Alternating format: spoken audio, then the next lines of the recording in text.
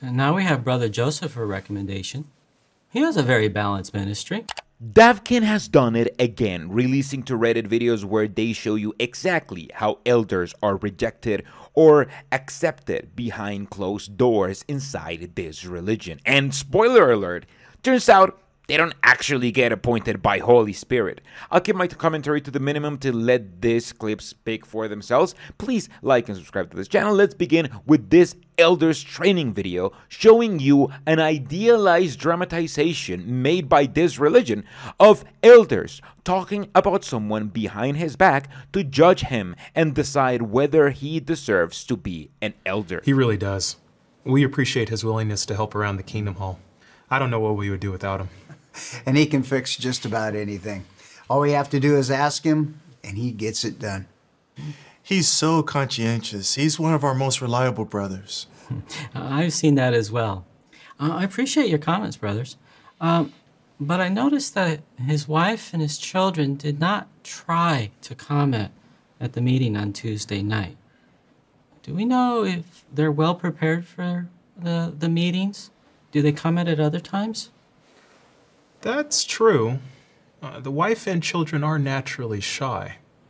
You know, I've known this family for many years. They're a good family. The brothers and sisters just love them. But they've never been good at participating at meetings. It's just not been their strong point. Hmm. Well, brothers, uh, let's open our shepherd book to chapter 8 and look at paragraph 4. Notice that while it's true that the brother who must measure up to the spiritual qualifications, what else must be considered? Well, it says here that we must consider the spirituality of those in his household and that the wife should be a good example. Mm-hmm. And really, that should be the same with the children, according to their capacity. Uh, attendance at the meetings is obviously important, but so is participation. Uh, two of the children are adults, uh, if I'm not mistaken. But since they're living at home, we should be giving some thought as to how the congregation views them, whether they're a spiritual example. I think they want to comment, but they can't. They're just shy. Hmm. Are they quiet and reserved in other settings? Uh, for example, what about social gatherings with the brothers and sisters? You know, the family is timid when it comes to meetings.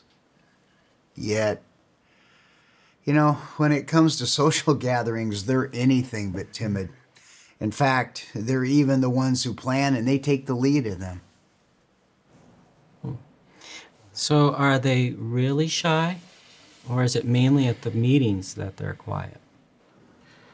No, they enjoy speaking with the friends before and after the meetings. But during the meetings, we rarely hear from them. And I have to be honest that when we spend time with them as a family socially, they are not shy. I wonder what he's doing to assist his family to comment at more at the meetings. Oh, it's certainly important that families of appointed men be exemplary.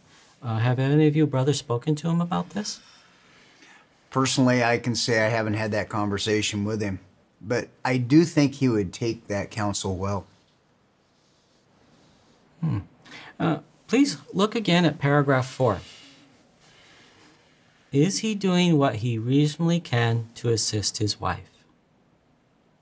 Uh, based on the things you have mentioned, uh, do you see the need for Brother Joseph to continue to work with his family so that he will be better qualified as presiding over his household in a fine manner?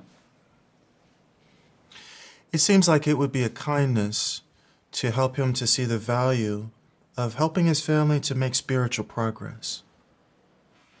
Thank you. I can now see that we can really help this brother to assist his family better. Do we all agree then to wait and follow through so in helping him with his family? Uh, thank you, brothers. I'm sure we'll see uh, progress with Brother uh, Joseph's family. That's right. The potential elder gets judged because his family is determined to be faking their shyness to not participate regularly in the Watchtower study. Because in this religion, appearances are the most important thing. But let's roll the next clip where this religion will show us how elders actually get appointed. Now we can review the recommendation of Brother George. I noticed that he is showing continued good progress. Uh, let's open our Shepherd book to chapter 8, paragraph 3. It mentions natural ability does not qualify a brother for appointment. He must be a spiritual man giving evidence that the Holy Spirit is operating on him. So, what evidence have you seen that the Holy Spirit is operating on him? Well, Brother George is easy to work with. He's open to suggestions and he follows direction and counsel well. For example, our past counsel to be better balanced in his secular work, it's allowed him to show a pattern of setting better spiritual priorities. And he's also a peacemaker as well. I saw him take the blame for a delayed literature order, even though it wasn't his fault. He apologized and was very patient with the brother. Oh, excellent. Thank you, brothers. Um, is he zealous in the ministry, doing what he reasonably can? The entire family has a meaningful share in the different aspects of the ministry. And in fact, they participate in the ministry most weekends. Very good. Is he a student of the Bible? Um, does he endeavor to help his family spiritually? Is he conducting a study with his wife and children who are at home? Yes. Uh, two of us had a shepherding visit on his family, and you know, we noticed that they had a nice schedule of family worship, and his two young children, they actually were able to share some nice points from their family worship with us. Nice. And I noticed that as a family, they give meaningful, heartfelt comments during the meetings, which is a sign of good preparation. I want to add, I had a chance to work with his boys out in the ministry, and both of them had excellent presentations at the doors. Oh, wow. Well, thank you very much for your thorough comments about Brother George and his family. Uh, it gives me real confidence in this recommendation. And it tells me something else about you, brothers, that you really do have the pulse of your congregation.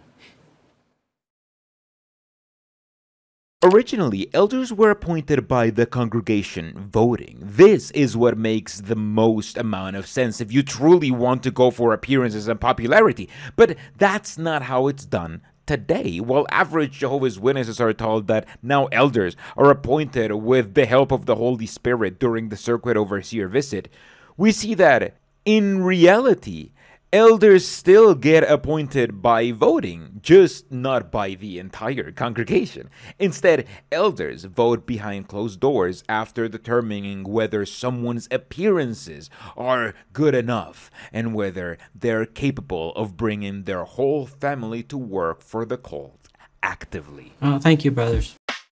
Thank you for watching this video. Don't forget to like and subscribe and maybe support me on Patreon or on YouTube or on on PayPal or on on on the street. Like if you see me on the street, throw a dime at me.